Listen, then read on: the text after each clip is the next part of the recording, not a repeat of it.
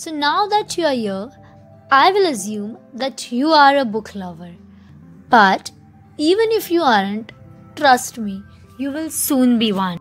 So, hello everyone, welcome to Books and Art. So, today I am here to review an internationally best selling book, Ikigai.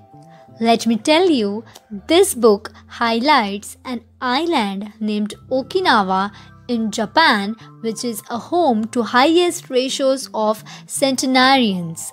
That is, people who have reached the age of 100 years. Basically, Ikigai means a reason to jump out of bed each morning, and that's the secret of the people in Okinawa.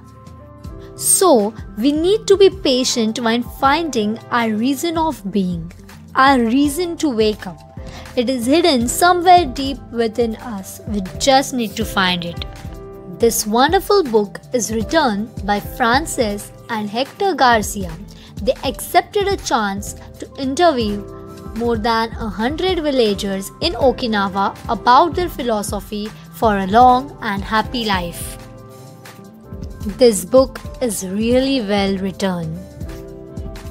It shows how people over 100 years are so actively doing things they love, which makes us doubt ourselves. Why are we lagging behind?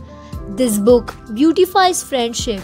It shows how to overcome problems, to deal with a proper diet, exercise, and much more. It will make you meet an improved version of yourself. It is a brilliant self help book. I'm not overhyping it when I say it is truly an eye opener. So, focus on your present. Take time to find your ikigai. And once you grab it, you will definitely love living life more than before. This book is a must read. I found my ikigai. Do you wish to find yours?